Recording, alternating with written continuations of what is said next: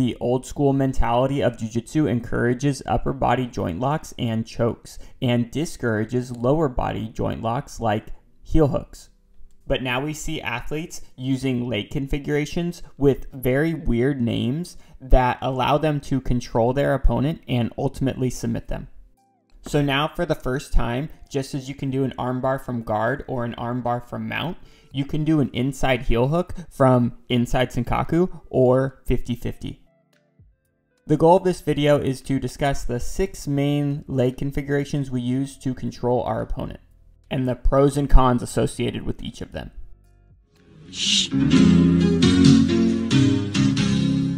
Before we dive into the video, there's an organization called St. Baldrick's where people shave their heads to raise money and awareness for childhood cancer. I've been participating in this for 20 years, and if you're interested in learning more about it, donating, or even participating, the link will be in the description below. Now let's get into the video. The term ashigarami just means leg entanglement, so it refers to any of the leg entanglements we're going to be talking about in this video. And this video here does a great job of outlining the names of each position. So I'll leave that link in the description below and just kind of run through it quickly myself here. But for more detail, I recommend you check out that video. Our first ashigarami is a version of a straight ashigarami because our opponent's left leg is going across our right hip. This is called irimi ashigarami or better known as single leg X. Our second ashigarami is a cross ashigarami because our opponent's left leg is going across our right hip. So if their leg crosses our center line, it's called a cross ashigarami. And if you notice in both of these scenarios, we have one foot on the outside and one foot on the inside of our opponent's hip. So if our legs are configured in this manner, if it's a straight ashigarami, we refer to it as an irimi-ashi, and if it's a cross ashigarami, we refer to it as cross ashi. Now, in a straight ashigarami, we have the option to either throw our feet to the inside or to the outside. If we throw our feet to the inside, like we see here, we call this an inside ashi. If we throw our feet to the inside from a cross ashigarami scenario, we refer to that as inside sankaku. If we have a straight ashigarami with both our feet on the outside, that is outside ashi. And if we have a cross ashigarami with both our feet on the outside, that is referred to as 50-50. And there you have it. Those are the six basic forms of ashigarami. And although it might seem silly, it's super important to be able to distinguish between these positions very quickly. I'm going through this book called The Talent Code, which I was able to purchase with the money from Patreon, so thank you all for the support. And in the talent code, they talk about this study that was done involving a group of chess masters as well as beginner chess players. They presented both the masters and the beginners with kind of screenshots of famous matches and asked them to recall where the pieces were on the board. Now, the masters of chess that understood what was happening were able to recall with much higher accuracy where the pieces were on the board compared to the beginners who just looked at it as a random assortment of pieces.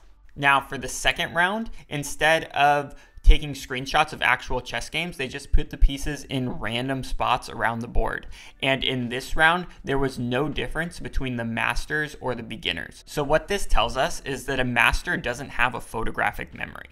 They have the same memory as a beginner. What makes them a master is their ability to recognize positions. So hopefully this helps drive home the point of how important of a video this is for our jiu-jitsu development.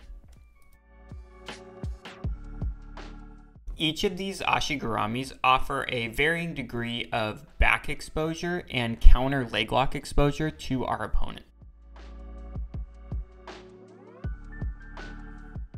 So we're going to go through and rank these positions based on the amount of back exposure and counter leg lock exposure that they offer. For Irimi Ashigarami, it does offer your opponent some ability to counter leg lock you. So that is why I put that as a 2, but I put back exposure as a 1 because although there is back exposure associated with this position, I think it's relatively small compared to the other options, such as inside ashi, where if your opponent clears their knee line, they're able to do a berimbolo and try and take your back. But I do think Inside Ashi offers less counter footlock exposure because you're able to off balance your opponent pretty easily. So if they go after your foot, you're able to off balance them and you have very quick access to their heel. Now, outside Ashi, I think is the most dangerous position of them all because it offers a significant amount of back exposure as well as just counter submissions in general, like an arm triangle.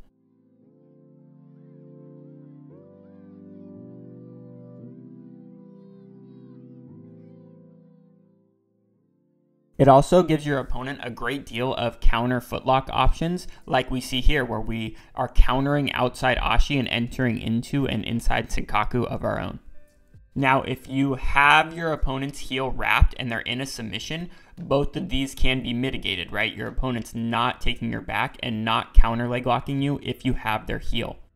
And there are people like Gordon that love outside Ashi, and he uses it quite a bit. You can see him transfer from 50 50 to outside Ashi and begin to attack the heel hook. Now, if they try and take your back, there are ways to counter this and roll underneath and either come up on top and use it as a sweep or to invert into inside Sankaku like we see here, demonstrated by Mike's students over at the Cave Academy in Pacifica, California.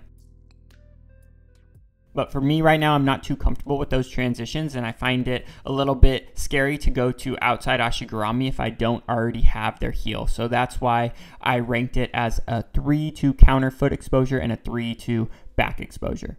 So now working right along into our cross Ashigarami, it's kind of a transitional position where we can either throw our outside foot across to enter into inside Sankaku, or we throw our inside foot out to enter into 50-50. And generally, we're relatively safe when we're in cross Ashigarami. We're not too committed to anything, so our foot exposure and back exposure are relatively small. Now, when talking about back exposure from inside Sankaku, I think the most popular example is Gordon Ryan getting his back taken by Felipe Pena. So there is a bit of back exposure associated with inside Sankaku, but I think the foot exposure associated with inside Sankaku is a bit underrated. And people are starting to defend inside Senkaku with different counter leg locks of their own. So that is why I have back exposure as a 3 and counter foot exposure as a 2. Now, 50 50 has a reputation of being a live by the sword, die by the sword type of position where you can have a beautiful entry into 50 50 and then all of a sudden you're the one on the defensive. So, there is definitely counter foot exposure we're offering to our opponent by choosing to enter into 50 50. But with our feet on the outside of our opponent's body, it makes it very difficult for them to take our back. Now, that concludes the first half of the chart, where basically it was all about how vulnerable each Ashigarami makes us to our opponent's counterattacks. But that's not even the fun side. The fun side of the chart is the attacking portion of the chart where we discuss how good each Ashigarami is at exposing our opponent's heel and how much finishing power each Ashigarami gives us. But in the interest of making these videos about 8 to 10 minutes long, I'm going to defer that to part 2 where we will fill in this chart and then discuss what I believe are the hierarchy of positions and basically answer Patrick's comment here, where we compare outside Sankaku versus inside Sankaku, and what I believe more importantly is how to integrate these different positions into a system where we can work to get the finish. So be sure to subscribe so you don't miss that, share the video with your training partners, and we'll see you in the next video.